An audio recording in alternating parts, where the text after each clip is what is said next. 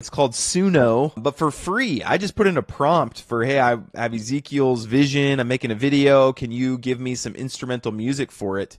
And Suno, which I'll leave a link to this, this is a cool tool.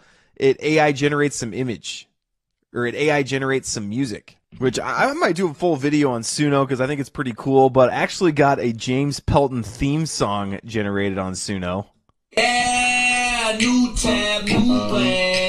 Cornfields, If the Wi-Fi hiccups, we still get it done. This is the James Pelton theme song. Let me skip forward to the chorus. The chorus is the best part.